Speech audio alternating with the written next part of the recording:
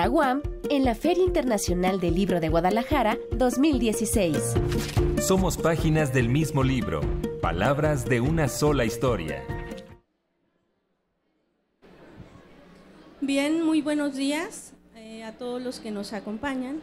Les damos la bienvenida a la presentación del libro Apreciaciones Socioculturales de la Música. Este libro está coordinado por José Hernández Prado y por Alan Granados Sevilla, quien nos acompaña para eh, presentarnos el libro. El profesor Alan Granados es maestro en sociología por la Guamas Capozalco y estudiante del doctorado en antropología social de la Escuela Nacional de Antropología e Historia. Él es también eh, fundador y ha sido el coordinador general de la Semana de Estudios Sociales y Culturales de la Música, que se ha realizado ya en dos ocasiones en la Guamas Capozalco. Entre sus publicaciones recientes se encuentran eh, Cuerpos y Sonidos Insurrectos, Relaciones entre el rock mexicano y el poder en las décadas de los 60 y 70, que se publicó en 2015, y por el y del libro John Cage y la decodificación de lo musical, eh, mismo que se encuentra en prensa. Bueno, eh, también les comento el, profesor José Hernández Prado, quien también es co-coordinador del libro, es profesor e investigador titular de tiempo completo en el Departamento de Sociología de la Guamas Capozalco y entre los títulos bibliográficos más recientes de su publicación se encuentran Breve introducción al pensamiento de Reid, El centinela insobornable, Algunas fuentes y consecuencias del pensamiento de Antonio Caso y La realidad social humana, diálogos imaginarios con base en John Rogers Sear y Thomas Reid. Bien, pues eh, a la Universidad Autónoma Metropolitana nos complace mucho la participación de nuestros autores y pues sin más preámbulo, quiero darle la palabra al profesor Alan Granados para que nos platique de su libro. Muchas gracias, Rocío. Muchas gracias a la Universidad Autónoma Metropolitana y concretamente a la Guamas Capotzalco, porque soy egresado de, ahí de la maestría. Eh, pues como todos los libros, este libro sobre música tiene su historia eh, en, 2013 yo estaba realizando trabajo de, campo en la Guamas en, San Cristóbal de las Casas y platicaba con la persona que estaba haciendo trabajo de campo que sería interesante realizar una serie de jornadas que tuvieran que ver sobre música y ciencias sociales, convencido de que hay muchas personas que en el campo de la antropología, la sociología, la ciencia política tienen interés por el estudio de la música. Y, a pesar de que la universidad eh, está situada en el Distrito Federal, la producción de conocimientos sobre la música, sobre prácticas musicales, está concentrada en algunas instituciones como la Facultad de Música de la UNAM y como el Instituto de Investigaciones Antropológicas. Entonces, consideramos que era relevante realizar un encuentro que agrupara a investigadores que estuvieran reflexionando sobre las distintas prácticas musicales que, eh, pues que constituyen el vasto panorama musical de, México y nos aventamos a organizar un evento. Al final logramos tener tres conferencias magistrales con 12 mesas de trabajo en donde se abordaron temáticas muy distintas, todas relacionadas con el estudio de la música y escuchamos ponencias que tenían que ver con el reggaetón, con el rap, con el reggae, con la música clásica, con las músicas tradicionales. A partir de ese evento académico que se realizó en 2014 y que se llamó Semana de Estudios Sociales y Culturales de la Música, decidimos seleccionar un conjunto de trabajos con la finalidad de, articular un libro, porque muchas veces los eventos académicos que se realizan se quedan únicamente en el evento y se tiene un programa muy interesante, pero no se generan contenidos. Entonces, nosotros queríamos generar contenidos que tuvieran que ver con la música y con las personas que estamos trabajando con el tema de la música desde las ciencias sociales. Decidimos integrar este pequeño volumen que contiene aproximadamente 17 ensayos y yo creo que el, libro tiene dos virtudes principalmente. En primer lugar, invitamos a jóvenes investigadores que están, que están realizando estudios de posgrado principalmente. Y se trata un poquito de abrir el espacio, ¿no? Porque uno ve las publicaciones que están relacionadas con el tema de la música y nos encontramos generalmente a las mismas personas. Está, eh, está Gonzalo Camacho de la Facultad de Música, está Carlos Ruiz de, de, de Lina, por ejemplo, y siempre encontramos a los mismos autores. Pero lo que nosotros vemos en el campo de las personas que están trabajando el tema de la música es que en realidad cada vez es más creciente el interés por la música. Entonces, invitamos a jóvenes investigadores en primer lugar y en segundo lugar, bueno, un poquito descentramos la producción del conocimiento sobre la música porque ya no es la Facultad de Música o ya no es el Instituto de Investigaciones Antropológicas ni la Escuela Superior de Música hablando sobre música, es un texto que se está publicando desde la Guamas Capotzalco, que tiene posgrados en ciencias sociales, y lo que queríamos, eh, lo que queríamos hacer visible y audible es que hay gente desde las ciencias sociales que está trabajando la problemática de la música. A nosotros eh, nos parece sumamente relevante el problema de la música porque la música es algo, por ejemplo, fundamental en el consumo cultural juvenil.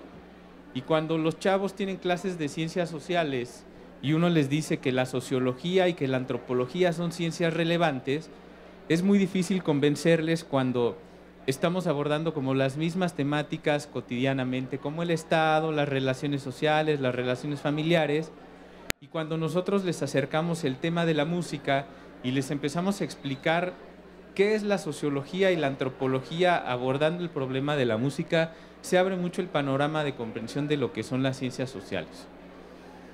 Por otro lado, eh, yo considero, junto con las personas que colaboramos en este libro, que la música, además de que es una dimensión fundamental en, la economía de, los, de las sociedades contemporáneas, en la economía capitalista, también consideramos que la música es una, es una herramienta epistemológica fundamental para conocer a la sociedad en la que vivimos. Si nosotros nos ponemos a pensar el desarrollo de las ciencias como la antropología o la sociología, por ejemplo, en el campo de la sociología es hasta la década de los 30 o de los 40 que los sociólogos se detienen a reflexionar sobre el papel que desempeña la música. ¿Cuáles son las funciones que desempeña la música? Y ustedes pónganse a pensar la importancia y la centralidad que tiene la música en la vida de los individuos. Entonces, por un lado, consideramos que la música, además de que es interesante por sí misma, es decir, es importante reflexionar sobre la música por sí misma como un objeto de investigación que tiene su dignidad propia, pero como sociólogos, como antropólogos, como gente que viene del campo de las ciencias políticas, de la comunicación, es importante comprender la música para entender qué nos dice la música sobre el sistema social en el que vivimos. ¿Qué nos dice, por ejemplo, la, difusión del reggaetón, yo les podría decir, a mí en particular no soy como muy partidario de la música pop, pero si nosotros escuchamos cierto tipo de estaciones nos damos cuenta que, por ejemplo, a nivel de las estructuras rítmicas, el reggaetón está permeando una parte muy importante de la música pop. De tal manera que el día de hoy, eh, Shakira, por ejemplo, Justin Bieber, ustedes escuchen los ritmos de esas músicas y están tomados de bases rítmicas del reggaetón. Entonces, es muy importante en ese sentido comprender cómo es que funciona un género como el reggaetón, por ejemplo, o, el danzón o los distintos géneros. Ahorita vamos a hablar un poquito más sobre el contenido particular del libro, pero un poco la premisa que nos animaba entonces es esa, que la música es una herramienta epistemológica fundamental para comprender las sociedades en las que nosotros estamos viviendo. Y aquí nos apoyábamos un poco en, un texto que escribe un economista francés ya hace como 30 o 40 años llamado Jacques Attali, que dice, bueno, sí es importante teorizar sobre la música, es importante comprender a la música, pero también podemos teorizar por la música, es decir, podemos comprender a la sociedad a partir de la música. Eh, lo que ustedes van a encontrar en el libro que tenemos a la venta aquí en el, en el stand de la UAM, evidentemente, es una colección de, aproxima de 17 ensayos más una traducción de un artículo de Pierre Bourdieu muy breve sobre Beethoven. En esos 17 ensayos lo primero que podemos decir es que lo característico del texto es la pluralidad tanto de enfoques como de temáticas. Es decir, tenemos estudios que están elaborados desde el campo de la antropología, un estudio muy interesante sobre cómo llega el danzón a Cuba y cómo en la actualidad hay un movimiento de reapropiación del danzón en la Ciudad de México. Si ustedes van al mercado de la Ciudadela, por ejemplo, los sábados por la tarde se van a encontrar con grupos de personas mayores que están estableciendo relaciones sociales a través del danzón. Entonces, tenemos algo muy interesante porque el danzón como tal no es solamente una música, sino que el danzón es un espacio para la reproducción de determinadas relaciones sociales, en este caso de adultos mayores en, la Ciudad de México. Eh, tenemos también un, un, texto bastante interesante que aborda un poco la problemática del reggaetón desde la perspectiva de cómo están presentes algunas temáticas que tienen que ver, sí, efectivamente, con la, con la violencia, por ejemplo, eh, con la misoginia. Eh, otro artículo importante, interesante en el texto es un estudio sobre el consumo cultural de los jóvenes en la Universidad Intercultural de Chiapas. Lo que hizo este autor fue realizar una serie de encuestas en donde le preguntó a los jóvenes de la Universidad Intercultural de Chiapas qué tipo de música escuchaba. Este artículo es muy interesante a la luz de un fenómeno que no sé si ustedes conozcan, que se está llevando a cabo en, que, en distintas partes de México, conocido como el rock indígena. Entonces, si ustedes se van a Chiapas, si ustedes van a Oaxaca, también en, en localidades mayas en, la península de Yucatán, se van a encontrar con agrupaciones que están haciendo rock en lengua. Y ese es un fenómeno muy interesante y hay, hay un texto que se llama, que se llama etno rock, porque finalmente nos da cuenta de la pues de las estrategias que utilizan los jóvenes para constituirse como sujetos sociales. Uno pensaría que como son indígenas, pues tienen que cantar música tradicional y resulta que no, hay procesos migratorios por los cuales ellos evidentemente están en contacto con otro tipo de músicas y ellos se están reapropiando de esas músicas y las están utilizando para constituir una identidad. Ellos se reconocen a sí mismos como sotziles, como celtales, pero les gusta el rock y están haciendo ahí un producto híbrido muy interesante. En este artículo sobre el consumo cultural en, las universidades interculturales de Chiapas, entonces, lo que se ve es justamente cuáles son los tipos de música que están consumiendo estos jóvenes de Chiapas. Eh, tenemos otros artículos que tienen un carácter un poco más teórico, pero que también son interesantes en el sentido de que nos permiten comprender cuáles son estas relaciones que se establecen entre la música y la sociedad, porque de repente parece que corren sin tener relación alguna. Y yo les podría decir este fenómeno que nosotros vemos actualmente de, de la comercialización, por ejemplo, de la música, o más bien la difusión de la música a través las tecnologías, a través de las redes, que de alguna manera redefinieron los patrones de consumo, nos diría Jacques Attali, bueno, eso es algo que inició en el campo de la música, y que más tarde se trasladó a otros dominios sociales. Entonces, nosotros lo que nos encontramos en realidad desde una perspectiva antropológica o desde, desde una perspectiva sociológica es que la música de alguna manera es un reflejo de las relaciones sociales, económicas y políticas de la sociedad. Pero por otro lado, también hay que reconocer que como producción cultural, la música ayuda a redefinir las, relaciones económicas, políticas y sociales. Entonces, lo que nosotros tenemos es una suerte de relación bidireccional en donde lo social está condicionando a lo musical y la música también está condicionando a lo social.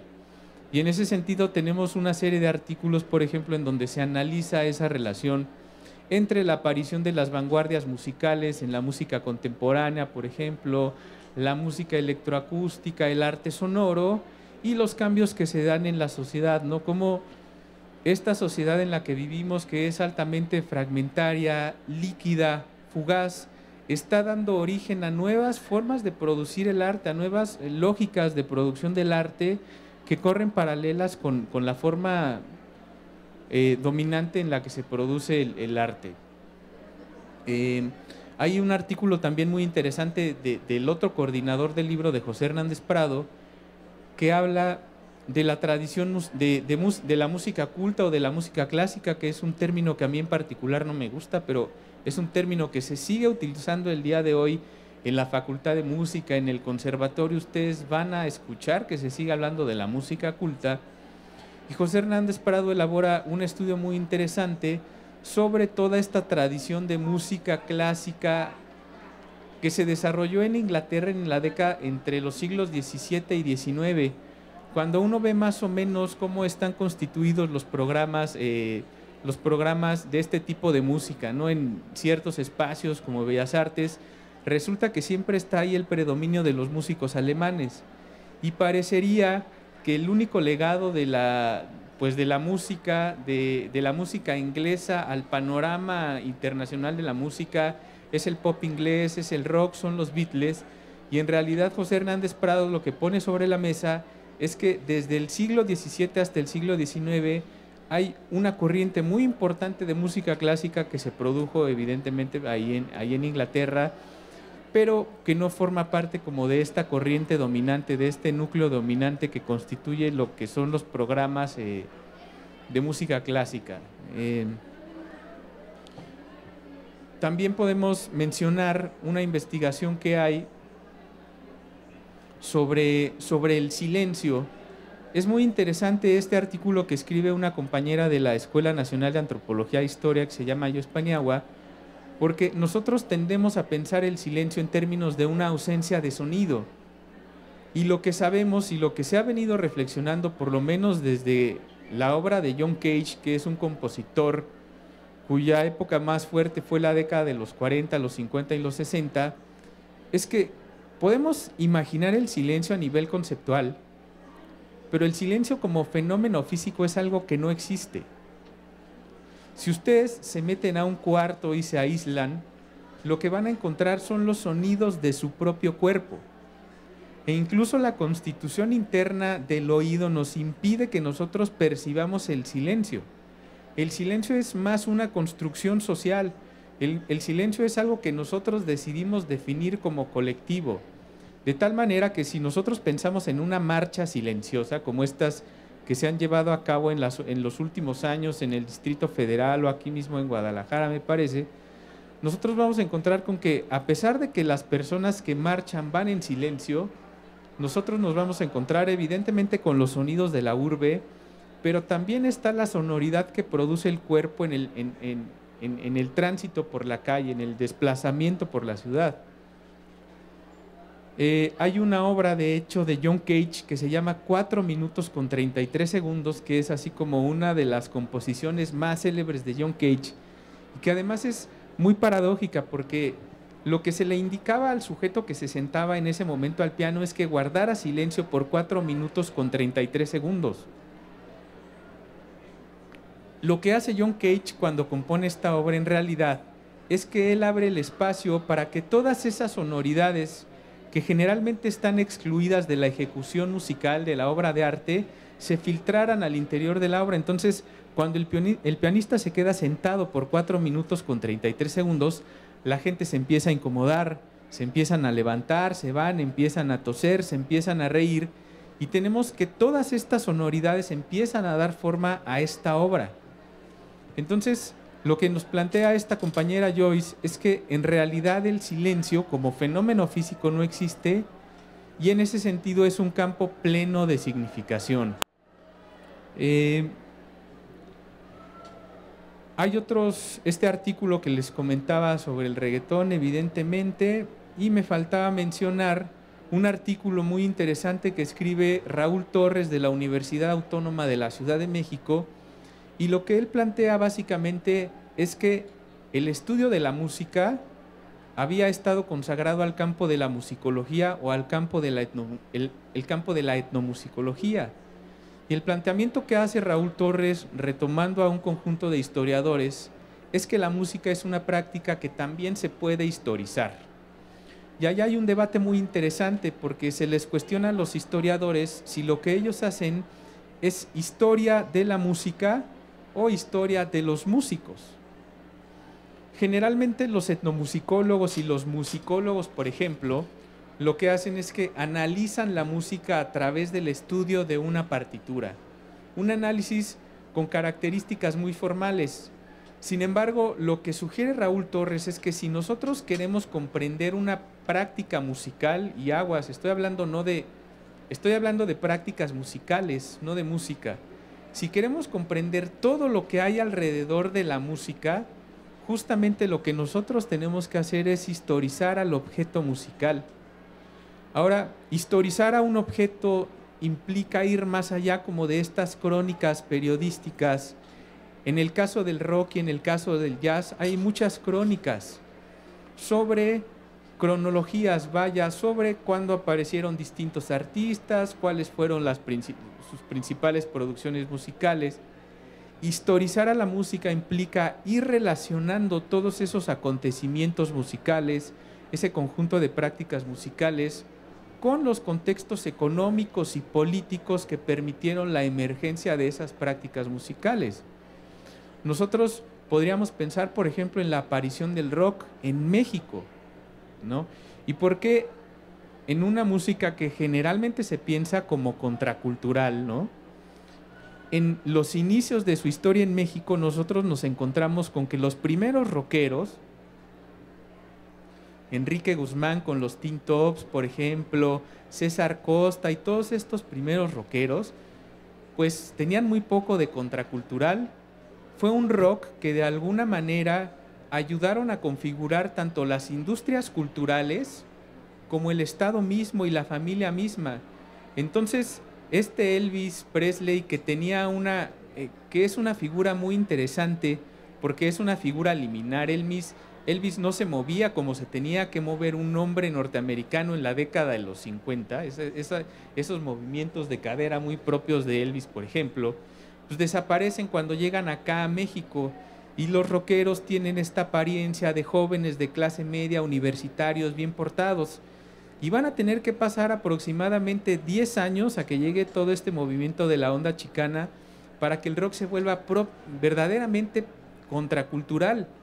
Ahora, si nosotros aislamos como esta historia del rock de los, de los procesos socioculturales, no alcanzamos a comprender por qué este rock de alguna manera se descafeína cuando llega a México cuando en realidad tenemos que contextualizar la producción del rock y entender que hay un sistema autoritario, que hay un sistema eh, eh,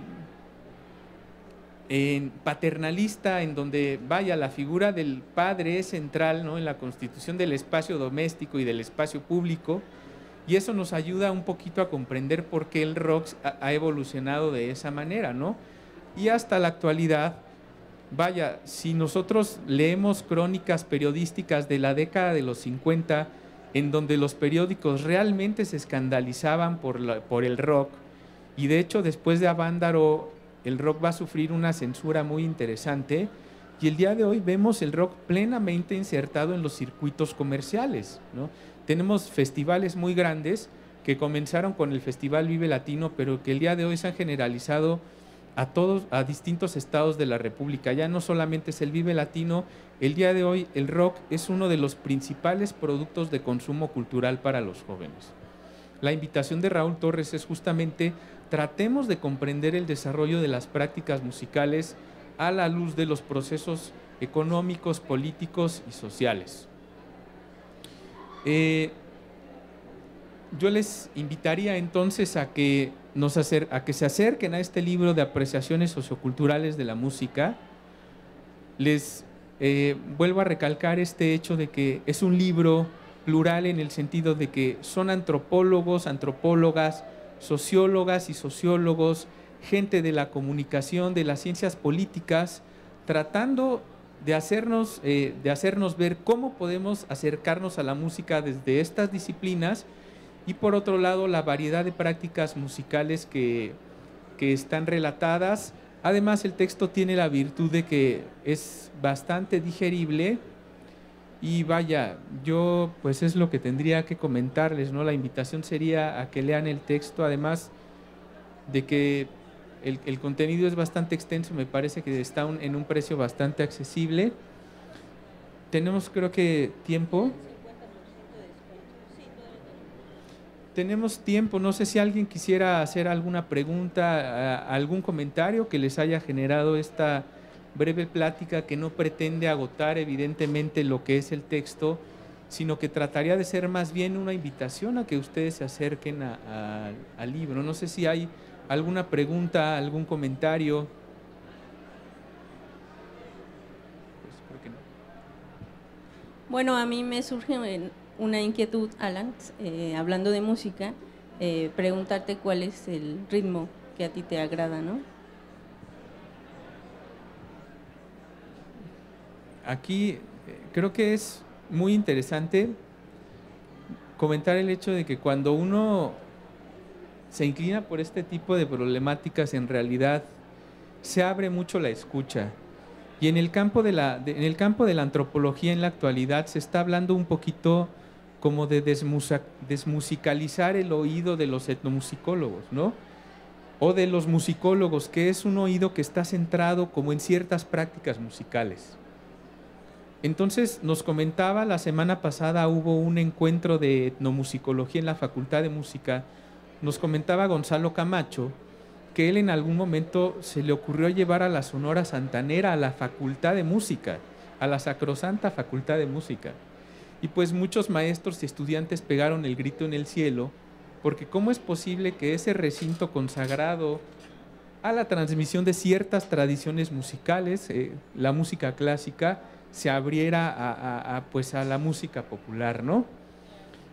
Yo en realidad podría decir que a partir de que he empezado a trabajar este tipo de temáticas, he abierto mucho la escucha. Entonces, a mí, a, mí la música me, empezó a gustar por el rock, pero el día de hoy incluso eh, puedo disfrutar de la cumbia, puedo disfrutar perfectamente de la salsa.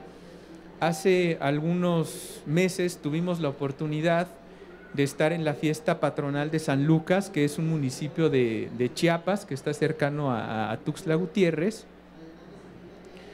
Y vaya, las expresiones sonoras que uno se encuentra en esta comunidad son muy distintas de las, de las expresiones sonoras que generalmente nosotros conceptualizaríamos como música, ¿no? Pero vaya, incluso esas expresiones sonoras uno aprende a, disfrutarlas. Entonces, en, términos generales, yo podría decir que el día de hoy me gusta, me gusta toda la música y eso es parte del, proceso formativo, ¿no? Y de lo que nosotros estamos tratando de hacer justamente en la academia, de abrir el oído y de abrir nuestros oídos a todas estas expresiones sonoras que forman parte del paisaje sonoro que, que construyen los distintos grupos humanos. Ok, pues bueno, es muy interesante ¿no? lo que comentas. Eh, realmente has abierto tú eh, el gusto por, diferentes tipos de, música, dado que pues de alguna manera es tu tema de, estudio, ¿no? Y como bien me comentabas hace un momento, pues hay poco escrito también, ¿no? De las temáticas que, que manejas. Sí, vaya. Eh, si pensamos, por ejemplo, en las revistas que hay en la actualidad para difundir el conocimiento que se está generando sobre la música desde un ámbito académico, pues más bien nos encontramos con algunos artículos aislados que se, que se publican en algunas revistas especializadas. Sí hay libros. Lo que yo comentaba también es que la producción de conocimiento sobre la música está muy centralizado. Se produce desde la UNAM, se produce desde la Escuela Superior de Música, se produce desde el conservatorio quizá, pero son ciertos espacios, a pesar de que hay gente en distintos posgrados, en la Guamas Capotzalco, en Iztapalapa, por ejemplo, eh, gente en la Universidad Autónoma de la Ciudad de México, en la misma UNAM, eh, hay gente de muchas universidades que está trabajando el problema de la música, ahorita me acordé de la en, la, Nicolaita también hay gente que está trabajando y sin embargo son muy poquitos los espacios. Entonces, a lo que nosotros estamos, eh, lo que nosotros estamos buscando en realidad, el, José Hernández Prado, que es el otro coordinador y yo, es abrir estos espacios para difundir el conocimiento que se está generando desde la academia sobre la música. Muy bien, pues si alguien desea hacer alguna pregunta.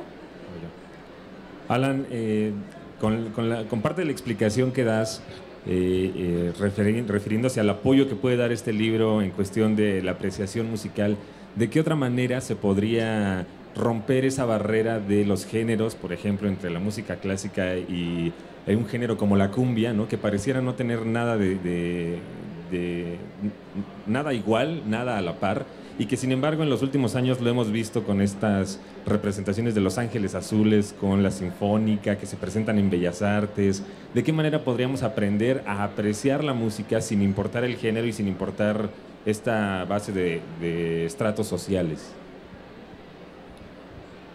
Híjole, bueno, ahí yo vería como dos, dos problemáticas. Una tiene que ver con el hecho de que los distintos grupos, el músico entendido como profesión, y en ese sentido los distintos grupos profesionales de músicos constituyen un campo, ¿no? en el sentido que propone Pierre Bourdieu. Y en ese sentido, ellos establecen junto con los críticos, los críticos musicales son fundamentales para mantener estas separaciones rígidas entre música popular y la academia misma, ¿eh? Ustedes platiquen con gente de la Facultad de Música que te van a decirnos si está bien la música popular, pero la música clásica es una cosa totalmente aparte. Entonces, los, los músicos profesionales, los críticos culturales y la misma academia se encargan de reproducir ciertos criterios y ciertas normas para que una obra sea considerada como una obra de como una obra clásica, por ejemplo, en el mismo rock pasa. Yo el otro día estaba escuchando a la vecina de abajo que ponía a Gloria Trevi a todo volumen. Y yo decía, pues es que esto es rock. O por lo menos las guitarras distorsionadas y los solos de guitarra y los gritos.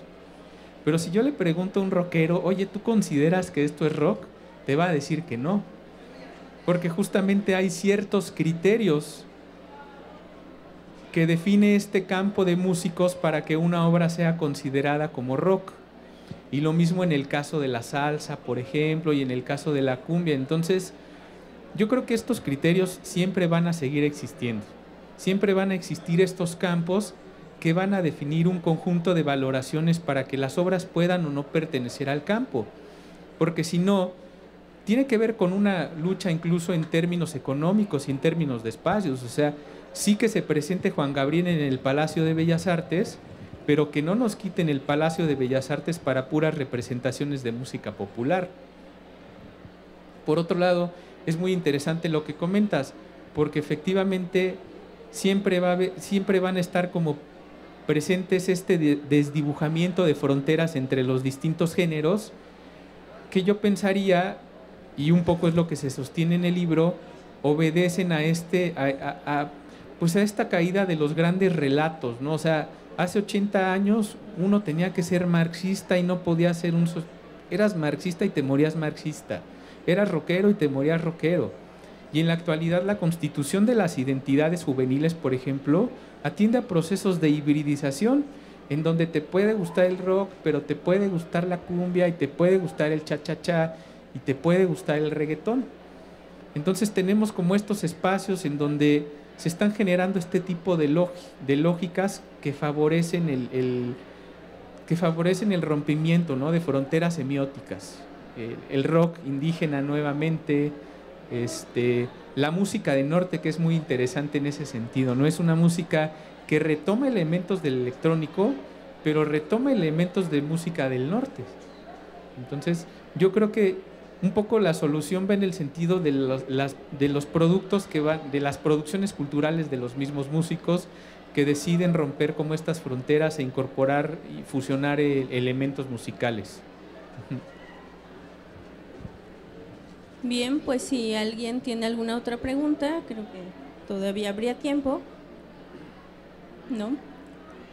Bueno, pues eh, Alan, agradecemos mucho esta presentación y a nombre de la UAM pues te eh, entregamos una constancia de participación. Gracias. Pues de, antemano, gracias. Muchas gracias, Rocío. trigésima edición de la FIL Guadalajara. Del 26 de noviembre al 4 de diciembre.